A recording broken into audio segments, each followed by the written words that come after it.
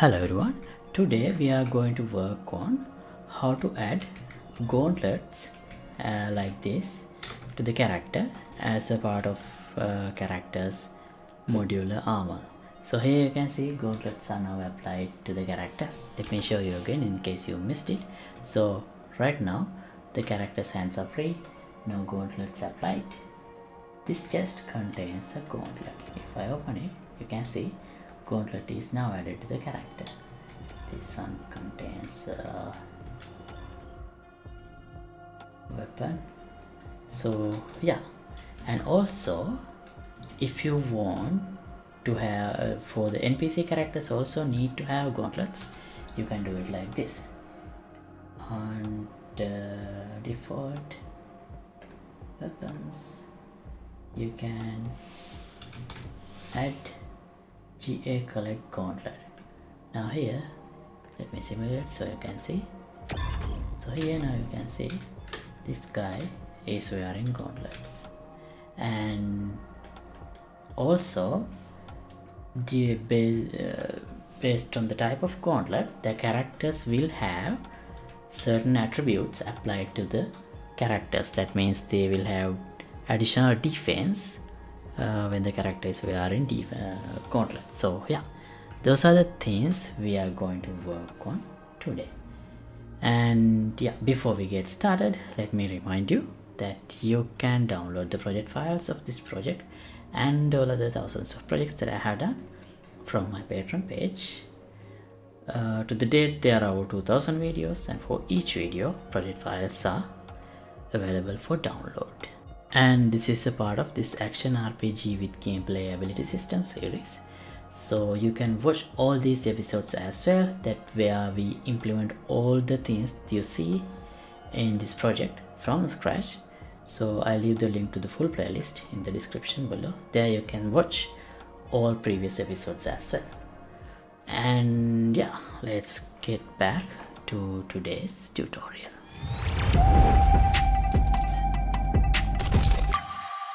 so I have uh, exported this uh, gauntlet mesh which is rigged to the uh, UE5 mannequin uh, skeleton uh, as FBX and imported into my project here like this. If I show the bones you can see it has the same bone hierarchy as the mannequin. So because of that I should be able to use it along with my character. Let me just show you. Here if I measures flight mail gauntlet add it under the character reset transform? And then go to construction script. Lead. Boss set leader pose component. And set the mesh the main mesh as the leader. And now you see in my character is wearing the gauntlets properly. If I apply the game you see here gauntlets are applied and animations are synced okay and even if I wear equip a weapon it works properly. Okay so it is compatible. Now I want to implement this as a wearable component. That means just like other equipments that we have in my project. Yeah let me show that as well sword helmet shield. Now if I go to inventory you can see all the swords I have and the shield I have and the helmet I have and the gauntlet will come here. For now it's not working. That's what we are going to work on now. Okay. So to do that we already have implemented the uh, item equipment system here under items. I have all the items that I have already created. So we have plate armor chest armor. So here we have this event init lead pose function implemented here. And this is a child class of bp item base class and here you can see the tag assigned to this character this uh, actor. Alright so if I just duplicate let me go back there. Let me just duplicate this class. BP gauntlet. Let mail c1 I'll consider as the class 1 of the gauntlet plate mail gauntlet. And here uh, I'll change this gauntlet. We already have this function implemented so we don't need to worry about that. And change the gauntlet to plate mail gauntlet. You wouldn't see that change right away but if I close and open it and go here now you see it's changed. Okay and now let's change this uh, uh, let's add a different tag or weapon class. So that doesn't really apply to this. So under items let's add a sub tag items. Gauntlet plate. Mail. Oh, it should be plate. C1 add new tag. Like this and the item type. So here we don't have a gauntlet. So let's go to blueprint enums e items add new type gauntlet. So go back. Here now select gauntlet. Okay.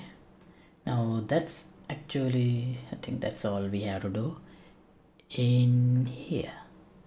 Now the next thing is let's go to our abilities folder. Here I'll create a new folder. Gauntlet. Now just like for other stuff we need a collect ability and uh, collect gameplay effect for the gauntlet.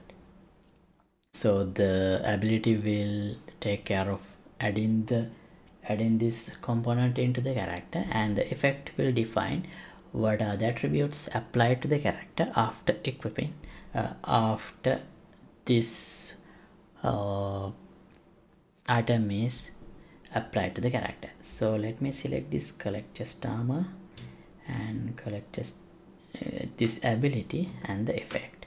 Let me copy this to my gauntlet. Copy here. And let's rename it.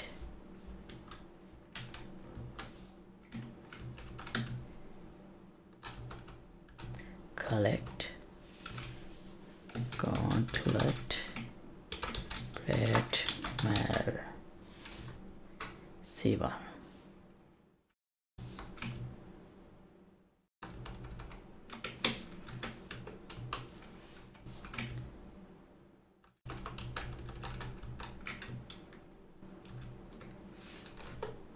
e collect gauntlet plate mail c1 okay now we have the ability and the effect. Now let me open the ability.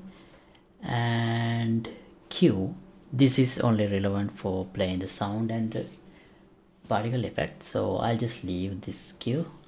That's okay. But collectible class is should be this gauntlet. And activation block tag. Now if the character already has a gauntlet then we should block it. So items gauntlet it should be activation block tag. And the gameplay effect should be this one. Okay.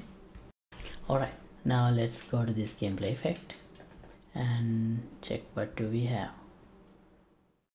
Oh the added tag should be not this this one. If the character is where we are in this gauntlet this tag should be added to the character. And also let's add some defense. Maybe not 10 let's say 5 all right okay okay now we are not yet done. So here for this chest I'll give this GA collect gauntlet let's see what happens now. See the gauntlet is there but it is not synced properly. And what we need to do for that is if I go to the event graph of the character here we should have oh it's in the base character. In this collect items it's here if it is a gauntlet. Right now here gauntlet is here but we need to don't need to define a attached socket. But uh, right here. Uh, now actually we need a variable to hold a reference to the gauntlet. So let me duplicate this the existing variable gauntlet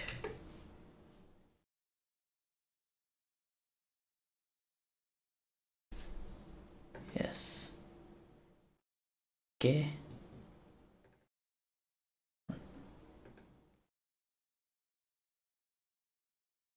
oh sorry I closed.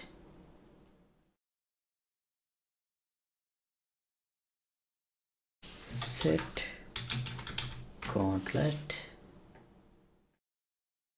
and assign the value. And then we need to initialize lead pose for the gauntlet as well. Because we need to synchronize animations. And we can give the lead mesh the character mesh and also let's go to the on rep function of this. Hmm, why am I not getting a oh yeah.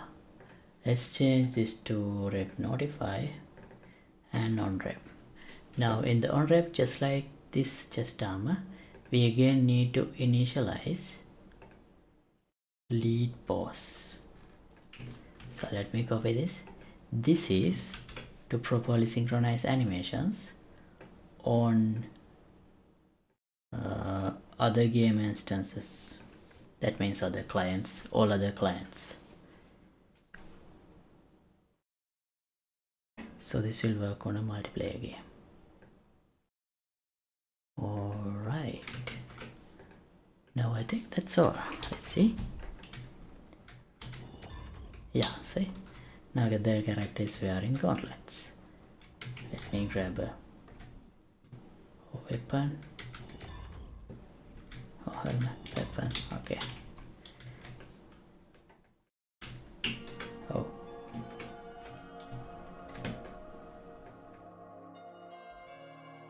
Right so now the gauntlets are working. All right so the next step would be how to make these gauntlets appear here but I don't want to cover to that part in this episode. Let's look into that in the next episode. So thanks for watching. As always updated project files will be available for download in the patreon page. Link would be in the description below. And see you in the next episode. Don't forget to like and subscribe. Let me know if you have any questions in the comments below goodbye